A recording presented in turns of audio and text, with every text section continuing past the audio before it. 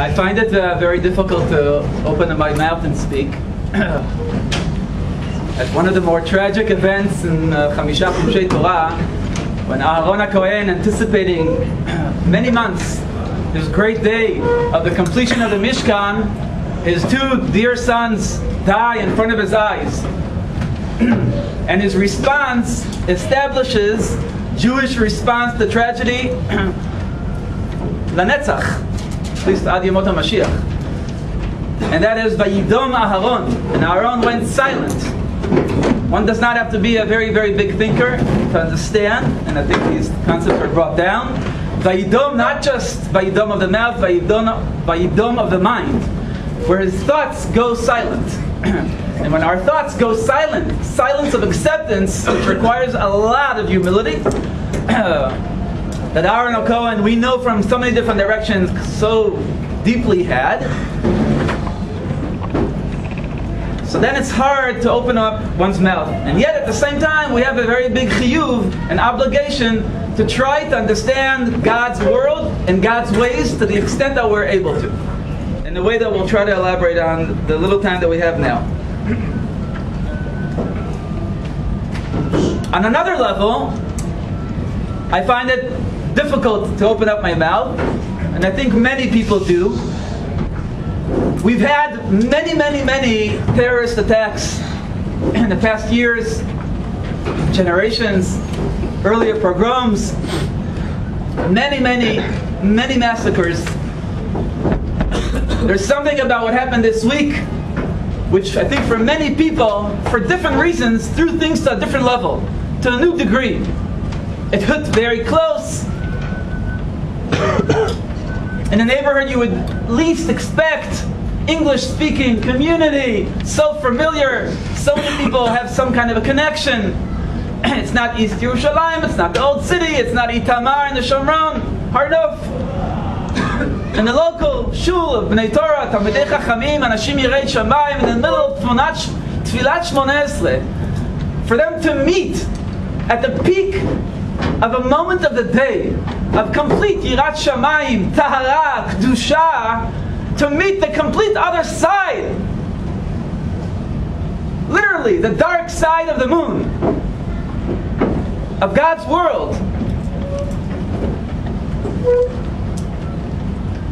I, I, can't, I can't say anything. But we have a chiyuv yes to say.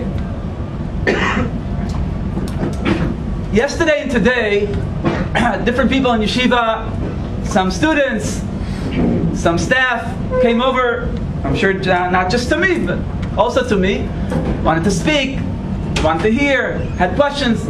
And during the developing of yesterday and today, I thought it would be fitting that there should be a place that to share some thoughts on the matter.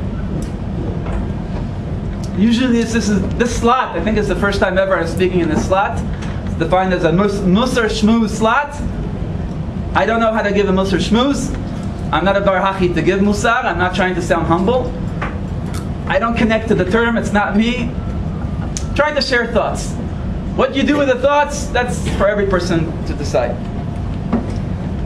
This morning, 9 o'clock in the morning, I went up the steps right here up to the Beit Midrash. And I saw my close, close friend and colleague here in Yeshiva that we all love so much, Rav Ami, and I didn't see him the day before, and I didn't get to say Mazal Tov to him. I was too busy to call him, and I gave him a big hug. And as I'm hugging him and saying Mazal Tov, my eyes have that up the steps somebody, and I appreciate that it was done, put up the pictures, the faces of the people who Hashem Yinkom Damam Hakdoshim of uh, of this week. And I've been anticipating to see just to see faces to be able to some level connect. Maybe somehow I know them. I get to Har Nof a lot. And this happened at the same moment. I'm giving Rami a hug. Mazal. Rami is beaming, and he has every right to, and he should, he should, wife should continue beaming with many, many, many more tzmachot to come, including girls, Bezrat Hashem. I told him, not that I know much about it, but Al pi Kabbalah, the seventh has to do with a bchina of a nukba, of a female. So Bezrat Hashem, the next one will be a, a daughter. Amen. Bezrat Hashem. But in any case, It happened simultaneously. I see the pictures from far, and I'm giving Rav Ami a hug, and I'm experiencing it also tonight. Beautiful simcha that we have here, coming together, so many aspects of the beauty of Netiv Aryeh, of one of my closest friends in yeshiva, outside of yeshiva, Rabbi Yoel, with one of our dear Talmidim, a simcha also beyond words. And at the same time, I hear, I, am rushing out of the porch in order to give a sikha about what I think is very, very important to address as a yeshiva.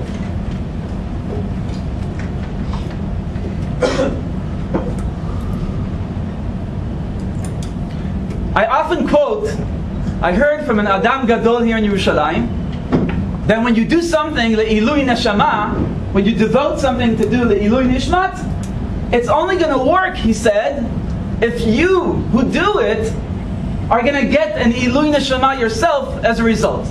But if you're going to do something and your neshama here in our world in Olam Hazeh is not going to be elevated, as a result, you're not causing in the parallel world of Olam Haba in ilui neshama. And I'd like to, of course, devote this sikha tonight to ilui nishmat, these four kedoshim, and you know what? I'm not sure one can say this, but I have a, I have a need to say it, whether it's acceptable or not. I won't say Le'ilui Nishmat, but I'll say at least for the zchut of another human being, not a Jew, who is Moser Nefesh to save Jewish lives. And this evening is dedicated to him as well. But what I'd like to do, attempt for myself, and I'm going to try to share with whoever else would be able to relate to these words, to try to produce, not despite what happened in Ilui Neshama for us, but because of what happened in the Ilui Neshama for us, and as a result, Bezrat Hashem to devote it to Ilui Nishmat Kedoshim Hashem Yinkom Damam. Let's begin. Parshat Shavua, Toldot, please take your source sheet. Source number one. Now, for people who come regularly to our Chumash here, Shana people, for you people, this is a continuation of a lot of things we spoke about in the past few weeks. And for people who do not, it's an independent sikha. It's, I tried to design it in a way that it works for both. For the Chumash people, if there are elements which are repetitive for you, I apologize. Take it as uh, hopefully productive chazara. Okay. Source number one, Pasuk Yud Tet in Bereshit, Parshat Toldot begins, Ve'ele Toldot Yitzchak, the last three lines in source number one, Ve'ele Toldot Yitzchak ben Avraham, Avraham Olidet Yitzchak. We spoke about it in the Chumashir. Anybody who has a little logic in his head, there's something very strange about this pasuk. It's so incredibly circular. Ve'ele Toldot Yitzchak ben Avraham, Avraham Olidet Yitzchak. But if one wants to open up his eyes and to realize at least at the most basic pshat level what's going on over here, one needs to go one step earlier and ask oneself Me'ayin Bata to the beginning of Parshat Eila Todot. Me'ayin Bata from the end of Chayei Sarah. What's the closing Parshiyah? What's the closing piece of Parshat Chayei Sarah? That which is line number one in source number one, and that is Ve'ele Toldot Yishmael ben Abraham. A sensitive ear hears compare and contrast, ואלה תולדות ישמעאל בן אברהם, אשר ילדה הגר המצרית שפחה צרה לאברהם, compare and contrast to ואלה תולדות יצחק בן אברהם, אברהם הוליד את יצחק. Meaning, it's impossible to understand the first pasuk of Parshat Toldot out of the context of, of its relationship to the way Parshat Chayei Sarah ended. Meaning, the switch from last week's Parsha to this week's Parsha, from Chayei Sarah to Toldot, and this is a significant point which we're starting off with, is a comparison, if you wish, a clarification, berur, between Yitzchak and Yishmael. Toldot Yitzchak, Toldot Yishmael, without going into definitions of Toldot right now, uh, it would take us out of our immediate discussion.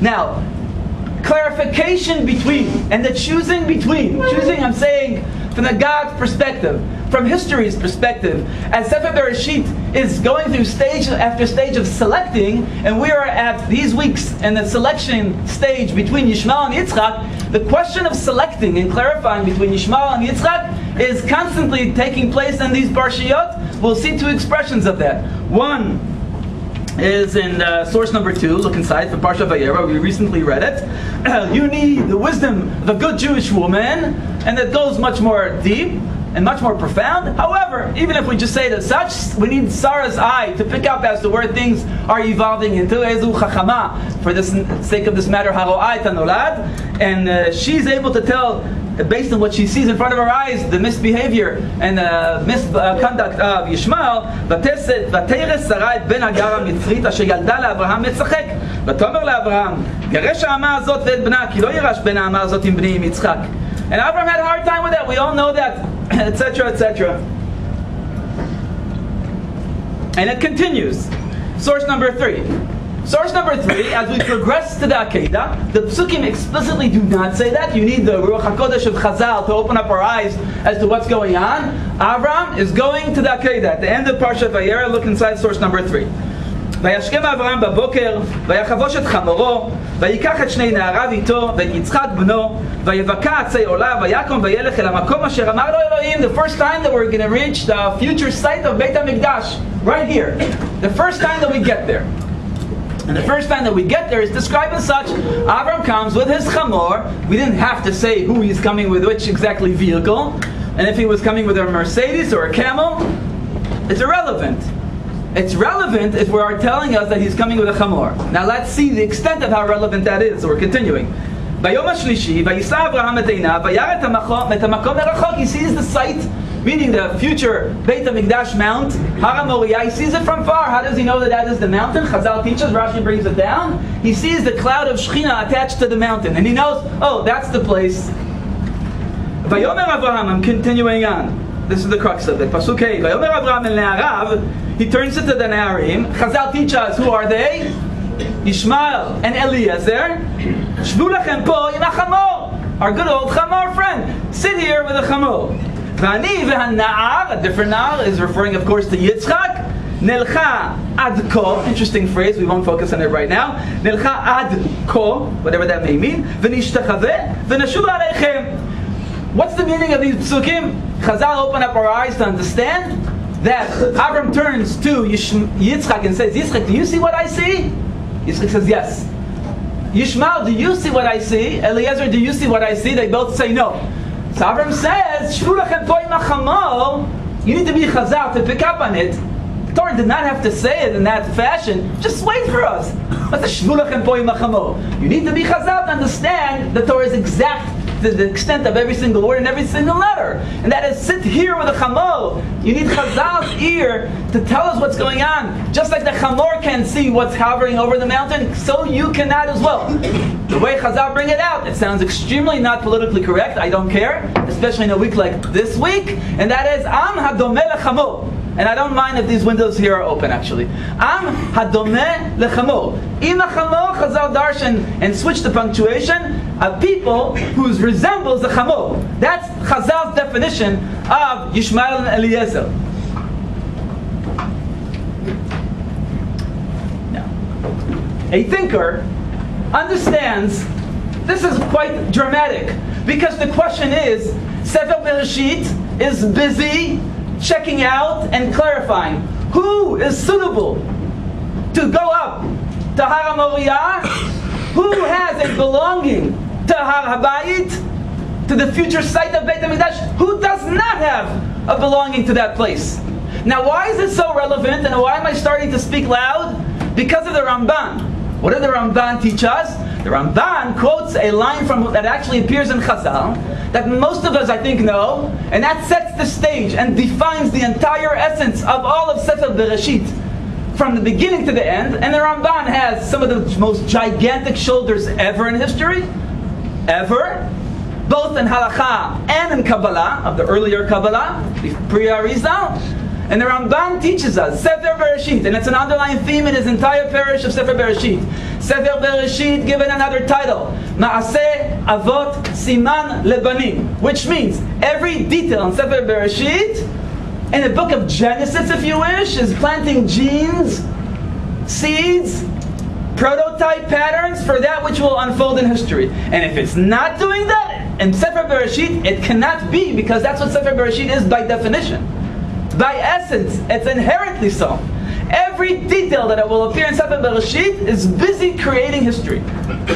That's the meaning of Sefer Bereshit called Sefer Yetzirah, in fact, in the Lashon of the Ramban. Because it's busy creating the building blocks of the entire course of history. Anything that, I'll say the other side of the coin is the same thing. Everything that will ever unfold has to have had origins in Sefer Bereshit. And if it did not have origins in Sefer Bereshit, it can't be in history. That's the extent of the way the rule of Chazal, specifically the Ramban, comes out. Now, why is this relevant? Because what this Ramban is saying, you who are Ben Avraham, Yitzchak, Yaakov, you have a chiyuv, an obligation hovering over you to read Parshat Toldot every year as it switches from Parshat Chayei Sarah or Bechlal these Parshiot. And if Sefer Bereshit at this stage is clarifying between Yishmael and Yitzchak, and at the same time, Sefer Bereshit is nothing but defining the patterns of history. You have an obligation not just to make sure you don't sleep during laning. You have an obligation to try to figure out what is the Maaseh Avot Siman Lebanim over here. And in what way is the clarification between Yitzchak and Yishmael, we'll put Yitzchak from now on first, of course, the clarification between Yitzchak and Yishmael, how does that manifest historically? And if you do not do that, you're not living up to being Yotze, the Chiyuv of reading every year Sefer Bereshit. I don't think I'm exaggerating when I'm saying what I'm saying.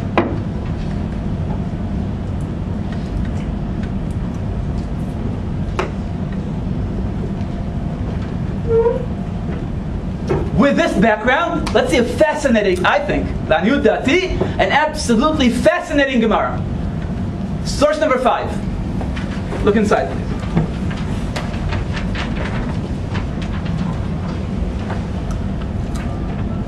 אומרת הגמרא, in source number 5, ויישא משלו ויאמר, אוי מי יחיה משומו אל. quote from פרשת בלק, in ספר במדבר, you have it, I photocopied it to the right of that same source, source number 4. ועתה הנני הולך להעמיד, לך ייעצך אשר יעשה העם הזה לעמך באחרית הימים. This is, those of you who remember Parshat Balak, the way it works, Bilam opens up his mouth three times to curse the Jewish people. Each time Hashem, ויהפוך Hashem אלוקיך לך את הקללה לברכה, Hashem turns the klala into a bracha, and then comes the fourth time. And this fourth time is special. Bilam doesn't ask for it. He knows already. There's already even Balak understands the concept of chazaka.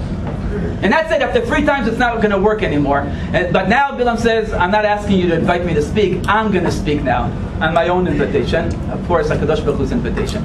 And he starts speaking. And Chazal, not that I know much about it, but I do know what the sources at least say about it.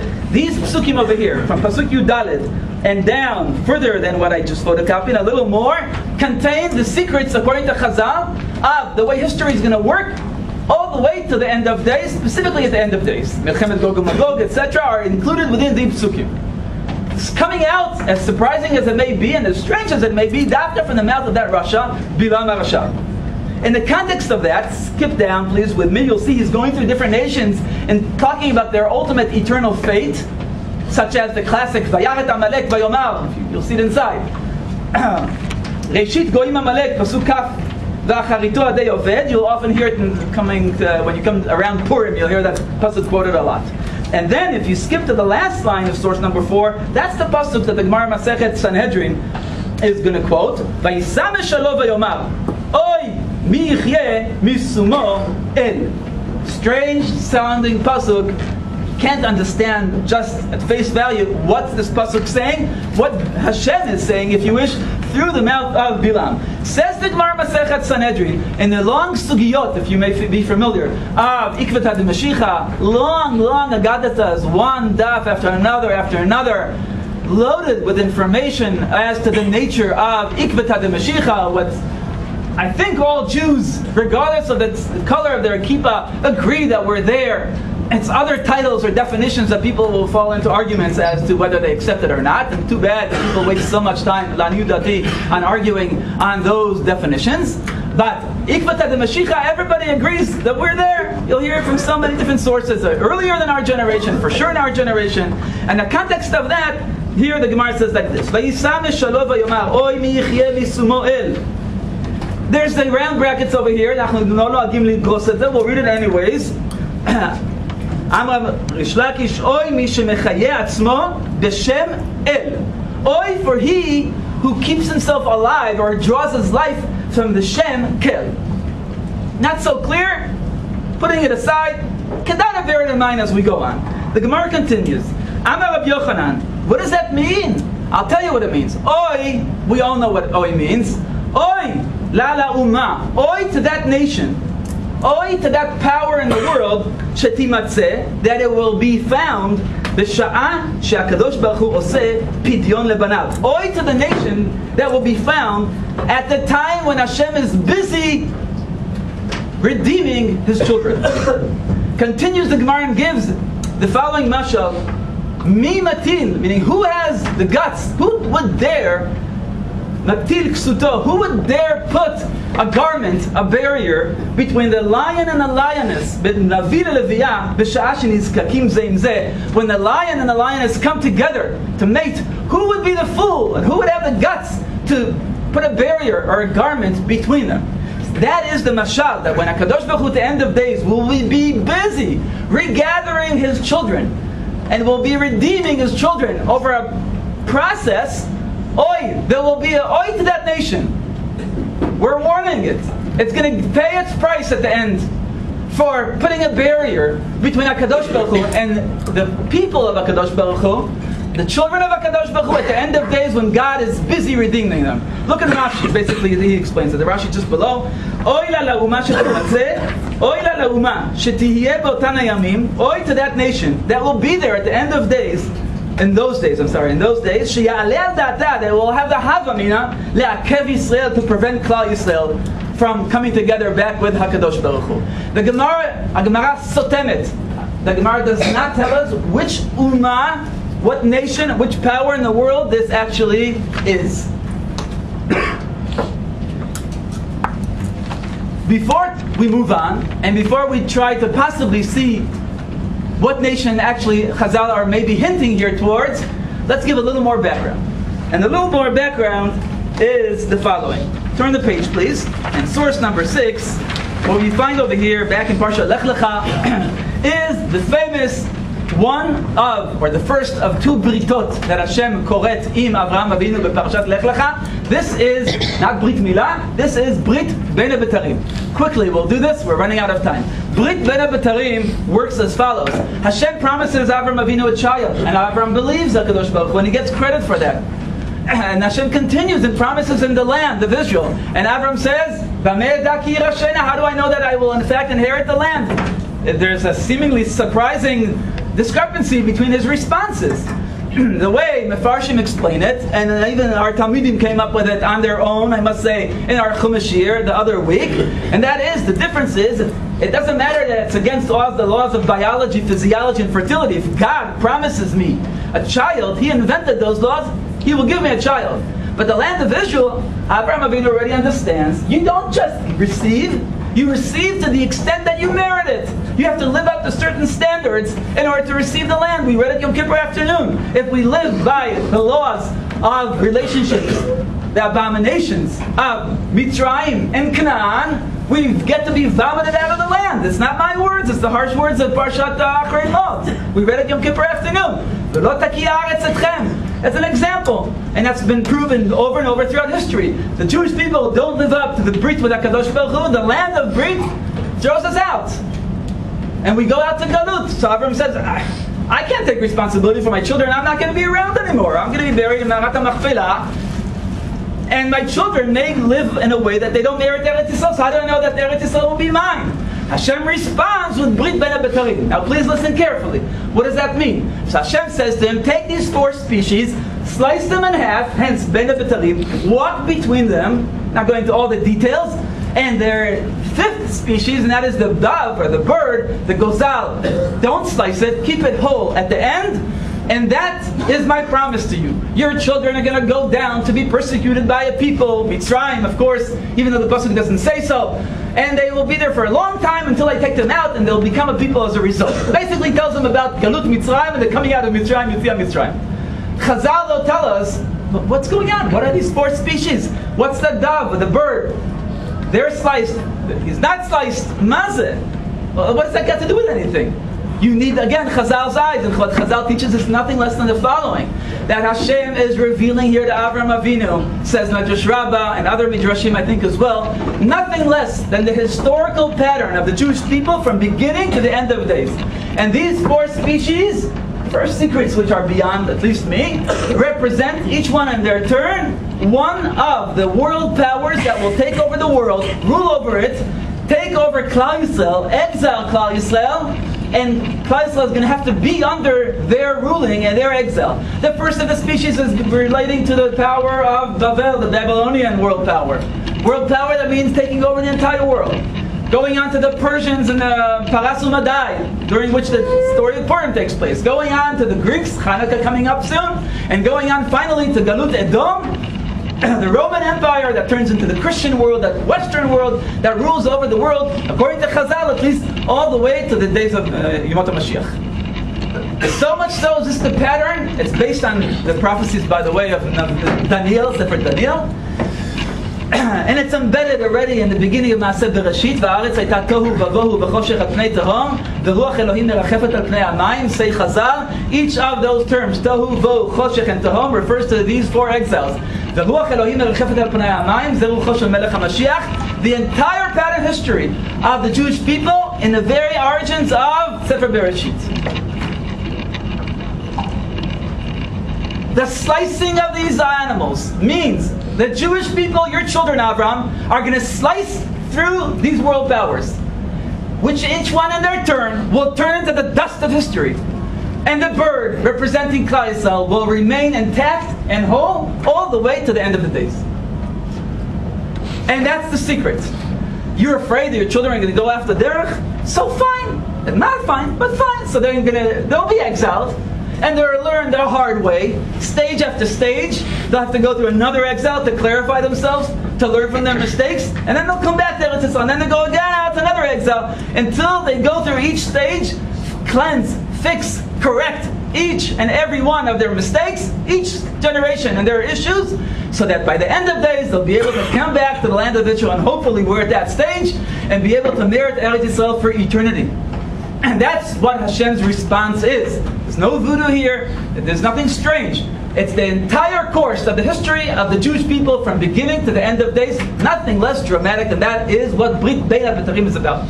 We're cutting here, we're making, we're signing a deal over history. That's the Brit. We're going through history together. Me, God, he says, of course, and you, the Jewish people. We're going through history together. I can't work without you. You can't work without me. If you have a philosophical problem with what I just said, you're welcome to come to me personally afterwards. I can't, I'll repeat it again, work without you. That's the way Hashem chose for His world to work. You can't work without me. We're going to journey through this together. Not stand that we so often compare our relationship with HaKadosh Baruch Hu to that of marriage. We're going to journey through life, but now it's the macrocosmic life. Marriage of history together. Or whatever that may mean however that long that may take, and I'll always be where there with you. And it's Moshe Rabbeinu later on Parshat Ki Tisa that insisted that it would be so. You don't go without us. We're not going to go without you. Don't send an angel. We're together in it.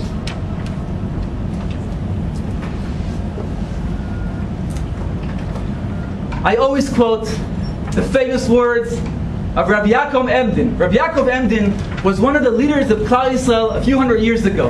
And in his famous introduction to his Siddur, Bet Yaakov, I think they probably have it here in the library, he says the following words. Had I stood at Kriyat Yam Suf, says this big Gadol of Klal had I stood at Kriyat Yam Suf, Kriyat Yam Suf would not be as big as a testimony for the truth of Torah and for Mitziyut Hashem as the ongoing existence of the Jewish people throughout the ages, despite all attempts to demolish them, that's a greater manifestation and testimony for God's ruling over the world more so than Kriyat Yam Suf itself. Those are his words. And you can hear in the background, possibly, the words of the Rambam in Hilchot Yesodei Torah, that he whose belief in God is based on miracles, כל המאמין על פי האותות יש בליבו דופי there's something off in his emuna, if it's off miracles. I'll add, in our, emuna seminar day, we'll talk about it more. Today we'll call that thing proofs. He who believes in God based on proofs, says the Rambam, I'm allowing myself to make that equation. You don't have to accept it. I'll claim so.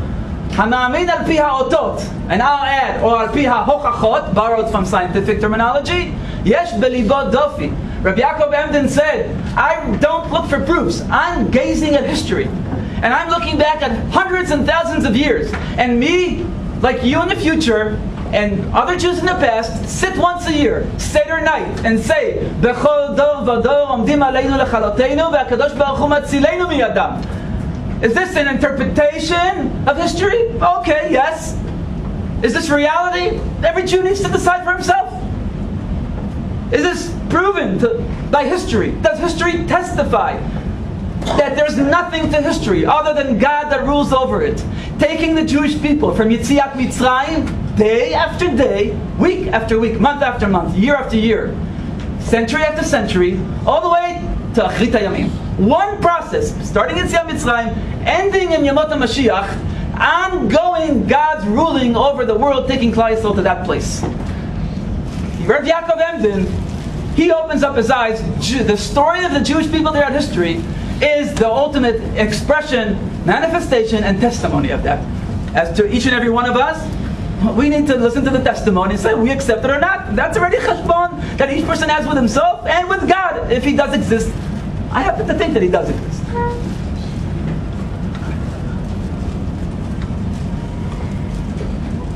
These issues are as a chiyuv as can be on a Jew to reflect upon.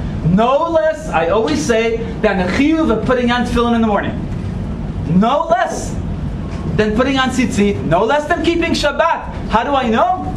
Moshe Rabbeinu told us in his closing words in Parshat Azinu. Some older guys here say that's my pasuk. Seder, if there's such a thing as my pasuk. Source number eight.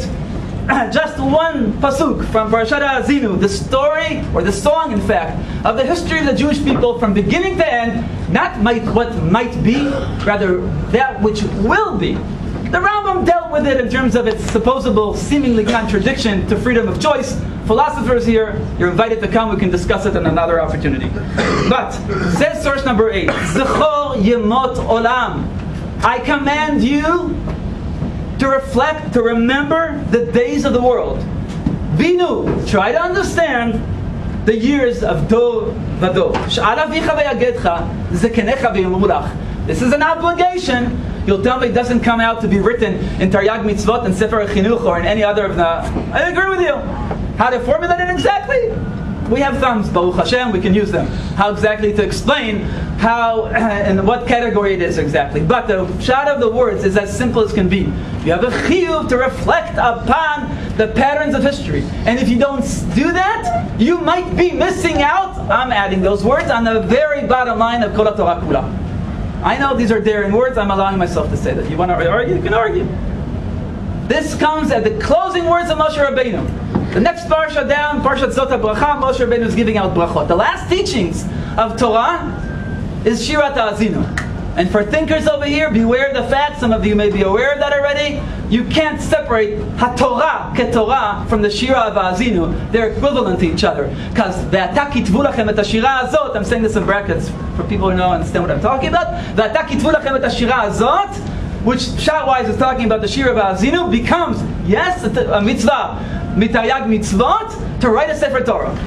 Sefer Torah, we're talking about Shira Azinu. Hmm, maybe there's an equation over there. Either way, we have a chiyuv to reflect upon our history. And if we do, we may come to see the ultimate testimonies for God's ruling over the world. And if we may not, we might be missing out on the very bottom line of it. How does it relate to everything we're talking about? It relates as such. Look inside, please. Source number 9, source number 10. The Gemara in Masechet Sanhedrin, which we saw before, does not teach us what is that power in the world, what is that nation in the world that will attempt to prevent Klal Yisrael at the end of days by, of being redeemed by Hakadosh Baruch Hu. That nation that will put a barrier between the lion and the lioness. Oi to that people. Oi to that nation. The Gemara does not tell us I believe the Medrash does. Look inside. Let's start off, in fact, with um, source number 10. Pirkei de Rabbi Eliezer. Midrash Pirkei de Rabbi Eliezer, very interesting medrash. We have it in the library. Not easy, not hard to understand. Not like Medrash Rabbah. It's very easy flow. Highly recommended to look at. Amar Bilam. This is going on our pasuk. Oy michye misumo el. Oy michye misumo el. Says the Medrash. Amar Bilam. משבעים לשונות שברא הקדוש ברוך הוא בעולמו, of the 70 languages, nations that is, that הקדוש ברוך הוא created in his word, לא שם שמו לאחד מהם אלא לישראל. Hashem put his name, Shem Kel, only in one people, ישראל. הואיל, however, והשווה הקדוש ברוך הוא שמו של ישמעאל לשמו של ישראל, he equated on some level Yishmael to Israel, because he also put his name El there in the Shem Ishmael. Oi, therefore, Oi mi yamav. Oi, who will be able to live in his days? What does it mean, live in his days? Shenamar, Oi mi misumo El. Medrash spirit in the Rebbezer opens up our eyes to that which the Gemara in Sanhedrin covers up, and I suspect that they do go hand in hand together. It's just that the Gemara hides that which the Medrash, and it often happens, opens up and reveals to us that it's referring to the people of Yishmael. רבי ישמעאל, of all people, I always find that interesting. רבי ישמעאל אומר, 15 דברים עתידים בני ישמעאל לעשות בארץ באחרית הימים. 15 things are the children of Ishmael are future to do in the land of Israel at the end of days. The there's a whole long list over here, uh, very thought provoking. We don't have the time to go through all of them. I'll just mention one or two. Uh, one of them is quite amazing historically. They will turn the graveyards of Jews into garbage dumps. We know exactly what was found in Har and in other places after 67 war, when we got there after many, many years. they will build, according to some shots at least, their own temple on the Temple Mount.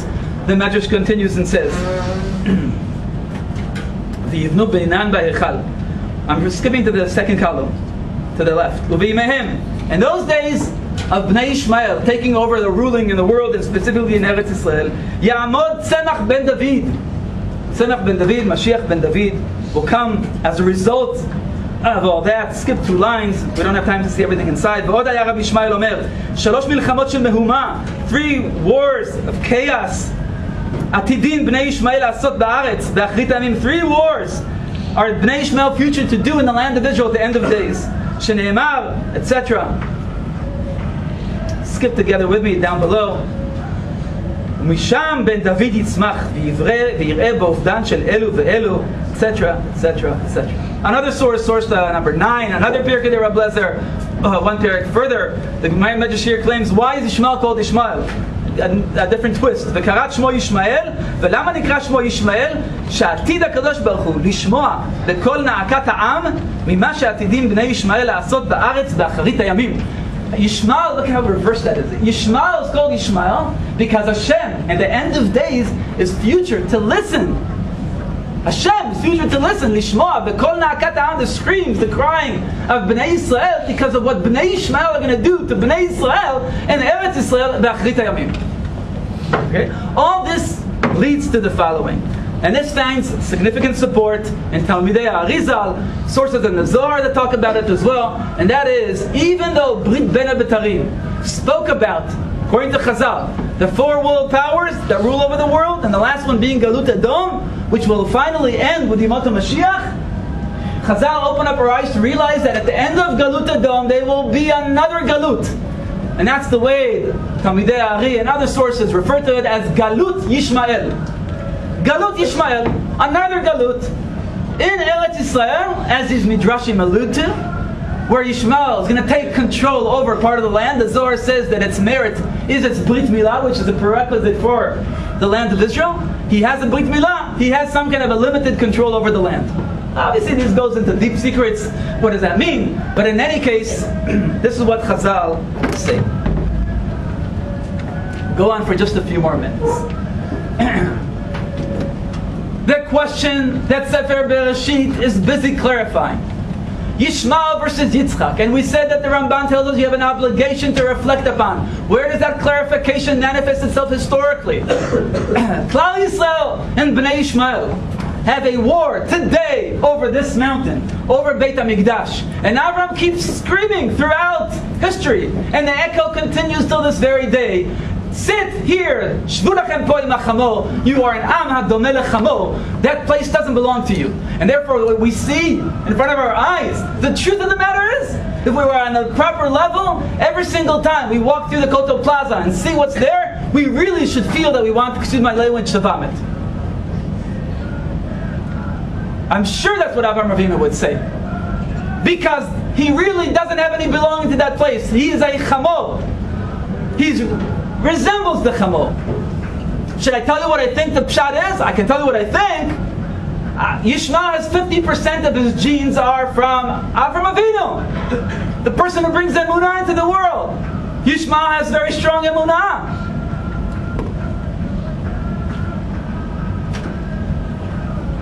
I remember a few times in JFK seeing Jews just before Shkia going into a telephone booth. Do they still have those such things? I don't know. But uh, it's a David Mincha. But an Arab puts down his mat in front of everybody. Doesn't have any busha. He's davening. But he has another set of genes. 50% from Hagar.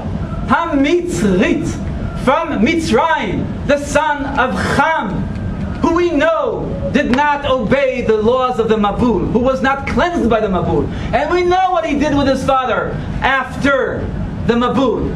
And we know how he ruins God's sniut of God's world. And his son is Mitzrayim, who together with Canaan define Arayot on Yom Kippur afternoon. We just read it as I said before. So 50% is coming from Mitzrayim. So when you join the two together, what does it look like? It looks like somebody who on the one hand has tremendous emunah, and he'll sacrifice his life, as we heard this week, screaming his name in a shul in Har Nof. And what he's convinced is that he goes up and he gets a Gan Eden of Mitzrayim. He's convinced that his great grandfather's fantasies of an adolescent are going to be finally fulfilled in his warped concept of heaven. And that's what we deal with today. And it comes out in so many different ways. And we sense so deeply.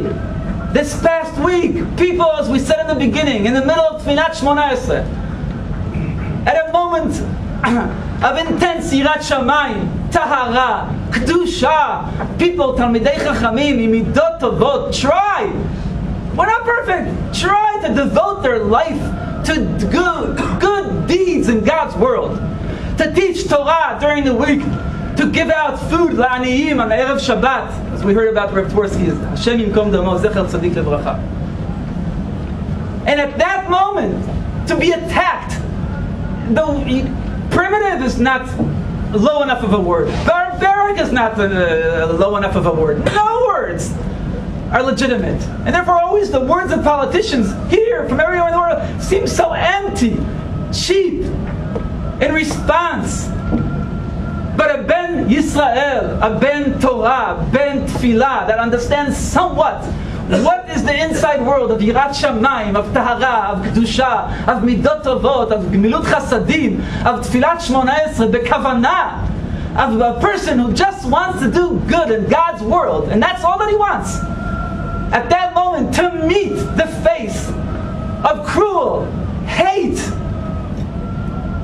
on the most primitive form that you think is no longer in our world. We're advanced, we have computers, we're so. Uh, and all of a sudden, the world of primitive man comes back in the ugliest of faces. You know what? Uglier than ever in the past. Why? Because Ishmael is part of Shem.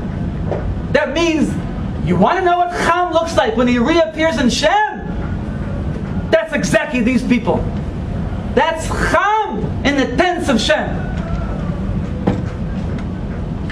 And that's what makes it so deeply ugly. Because they are part of this modern world today, supposedly. And they're a monotheistic religion. And it's not one or two. And I'm not here to dismiss every single person that is a Muslim. Absolutely not. And there are very right-wing people in this room who dismiss my words, so we'll have to agree that we disagree. I personally know such people. You want to argue with me? Yeah, but you turn the back, they'll put a knife in your back. I don't accept it. I'll prove it to you. Chazal say Yishmael at the end of his day did tshuva. But there are too many, thousands and millions of Bnei Ishmael who live in a sick, warped, primitive world of cruelty and fantasy.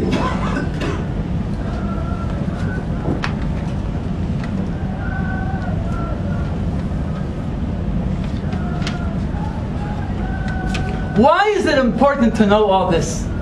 Why is it so important for me to share? For those who at least don't know, I'm sure older people here are familiar with these sources, but for people who don't know, why is it so crucial? And the truth of the matter is, I must be honest, I, I, for years already, I sense that there are even many Talmidei Chachamim, much, much bigger than little Amos Luban. I'm not trying to sound humble. Much bigger. Just they don't think in these terms. They're not aware of such sources, which are totally available. This is not some kind of a far out, who knows, the Zohar. For, these are midrashim, gemarot. We just have to open up such sources to be interested in it. Why does it make so much of a difference? It makes all the difference in the world in my eyes. And if I had any doubt about it, so in a very interesting and painful conversation that I had with one of the dearer people that recently joined our yeshiva, Rav Shlomo Creditor, who of everybody in the yeshiva, from what I know, was closest to the event and testifies and was at the site and knew the people and told me, and I asked him Rashut just before it began if I can share those, this our conversation. We're sitting in the, we were in the, standing in the library talking about these concepts, and Shlomo said, I just I can't tell you, my my whole life is completely shaken up. And he put it in the most in the best terms. A human being, especially in our generation, growing up in the Western comfortable world, thinks life is meant to go in a certain path, track, and all of a sudden you're hit with such intensity that it shakes up the whole basis of your entire life. And all of a sudden you start thinking, maybe life has a completely different track to it. Maybe a Baruch Hu is trying to open up your eyes. Life is completely different than what you've so deeply, or your society so deeply, even from society, convince yourself that it is. I beg every person to take Shlomo's words, Rav Shlomo words, to deeply, deeply to heart. Especially Shana Bet, Shana Gimel, older people. I think that might be a little challenging for some Shana people. In general, I wasn't sure whether it's suitable so much to Sikha for Shana people. Because the outcome of what we're saying, and I'll conclude with this. and this is what I shared also with Rav Shlomo. Last Shabbat, we summed up Sarah's life as being eternally defined as Me'arat HaMachpelah. I'm sure these things are brought down. Different versions, different styles defining her and our life as machpelah, as a double life that takes place in two worlds simultaneously. In Olam Hazeh, and hovering above it, there's another floor, just like Me'arat machpelah, another life. Two lives, and now there are many different levels, and one can understand it. And the level that Shlomo and I spoke about is as following. What we see from all the sources we saw this evening. God's master plan that's unfolding not every now and then. And the Ramchal and Da'at Tevunot, for those familiar, drives it in very, very well. Every single day, from Yetziat Mitzrayim, ad etzem hayom hazeh, and ad biat Mashiach tzidkenu b'mera b'yameinu, every single day, God is busy pulling the strings of history, sometimes in ways which are more apparent, and sometimes in ways which are completely not apparent. But every single day is he busy pulling the world and the Jewish people on the centerpiece of it to its destination. At every single stage, Klal Yisrael is going to have to clarify itself, its identity, on the contrasting background of another people, another world power. Once pagans, and then a whole new world. We're coming up soon to Hanukkah, Greeks, a new challenge. Jews like to think. Jews appreciate beauty. Beauty Jews appreciate depth, philosophy, new challenges. You have to clarify yourself and identify and define yourself in ways that you did not have to in the past. Implications still today, every time a good Jew walks onto a college campus. You're dealing with the Greeks and their imprint on the world. If I paraphrase Chazal. Every generation with its clarifications. But I need, that's part of God's rules, laws of history. You need always an opposing force to clash with through which you can define yourself. That's the meaning of a, world of Etzadat Tov Ra. You need Ra for Tov to define himself, and vice versa. You can't work without opposites. You cannot become, for example, I always bring this example, Yosef at Tzaddik owes his title Tzaddik to Eshet Potifar. If not for her, he would never become Yosef at Tzaddik. So it would be another Eshet Potifar, but there needs to be an Eshet Potifar to put him in a place that otherwise he won't reach that clarification which would lead him to become Yosef Tzaddik. And one can also fail these tests and clarifications. After all the process, there will be one more clarification. But from what seems from our sources, inside Eretz Israel, which we're getting to see and experience year after year with another force in the world, they're not a world power. I don't think the they deserve to be referred to as a malchut. They're so not noble in their ways, in their accent, and their demeanor. They don't deserve to be a malchut. They're a amadomela chamo. A lion may be compared to malchut, not a chamo. At the end of days, just before Mashiach comes, that's what the sources say. It's up to every person to say, accept. Accept these words of Chazal. Don't accept these words of Chazal.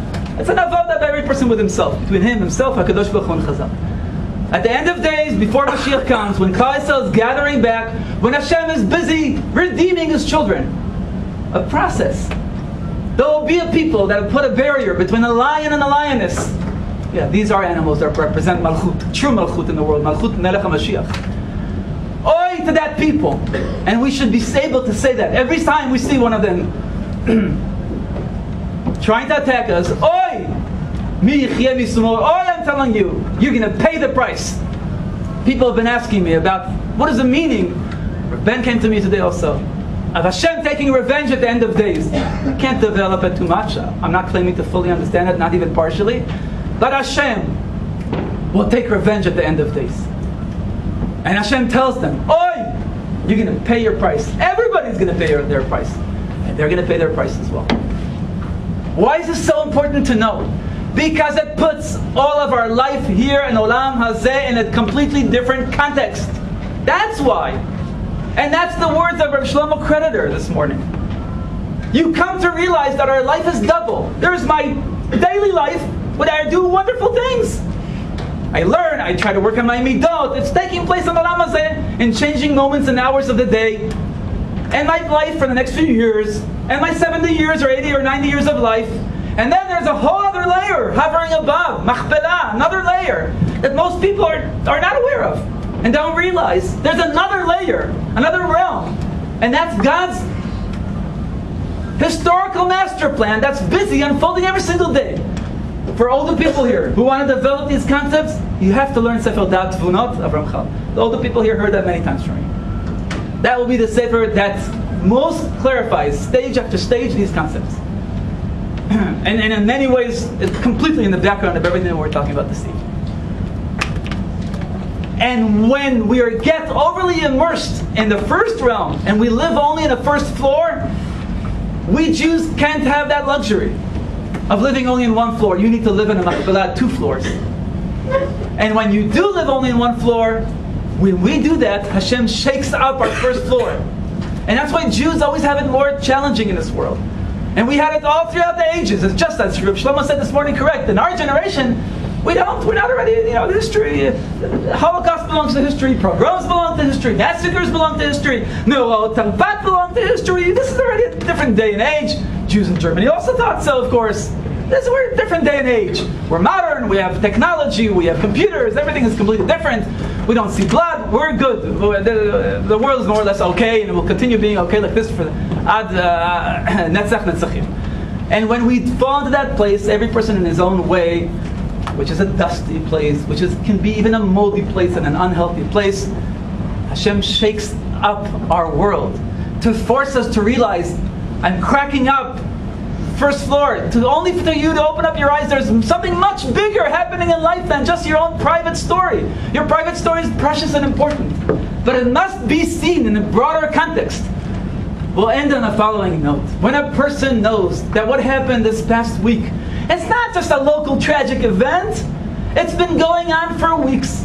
in Jerusalem. And it's been going on for years, and it's been going on for decades and centuries, and in a broader sense, it's been going on ever since we came out of the day we came out of Yetziat Mitzrayim. And it never ended. And the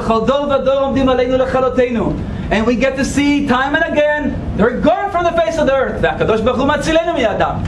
Yishmael's fate is going to be the same one as the one from, I'm not going to mention his name here in our holy Bet Midrash from 70 years ago.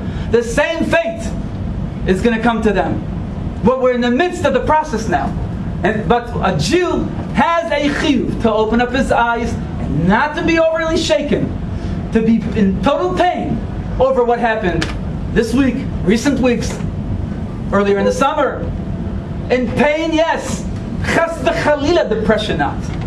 Chas v'shalom, to go into a place of low. On the contrary, and that's the Ilui Neshama that I was talking about at the beginning. One has to come out of such a week when one's Neshama is elevated, in pain and elevated, and they don't contradict. And that's why ultimately, me, I'm able to hug Rav Ami and say Mazal Tov to him, as we said in the beginning, and at the same time see the faces of uh, the Nirtzachim Hashem Yimkom Damam. And they coexist and they completely coexist as this sikha and Rabbi Yoel's beautiful engagement on the porch as we're speaking and hearing in the background. For Jews, they coexist. Not separately, they coexist. Because together they make our life meaningful. And the meaningfulness of our life has so many different shades to it. But the most important thing is when I realize these sources, everything falls into a certain sensible, meaningful context it's not a random world. Things just don't happen in a totally tragic, cruel way. It's cruel. It's tragic, but it's part of a master plan. We don't understand the morals of God. But we have a chiv to try to understand whatever we could in terms of the way He rules over His world. When a person internalizes such concepts, he can walk around the world not confused and not overly troubled and not even overly afraid. He can walk around the world with might with pride that Hashem selected him and his friends to be members in this elite unit called Klal Yisrael. Few, very few, get to be in this closed club. Closed, get open. If you really like Ruta Moaviyah, you can join. And if not, not. But it's a closed club for people who merit to be in this unit. And to have that sense when you walk around the world, a world of meaningfulness, a world of the most meaningfulness possible that draws from the meaning of nothing less than all of history.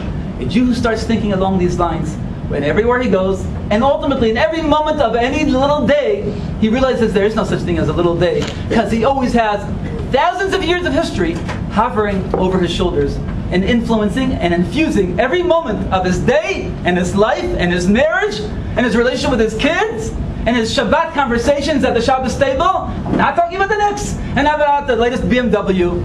I'm talking about God's world, which is gorgeous and full of meaning and full of purpose and life transforming and sometimes painful, but the pain doesn't put me down. Even the pain puts me up. And as a result, I can come out of such a week with an elevation to my soul. Bezat Hashem, it should be an elevation to the four souls that went up.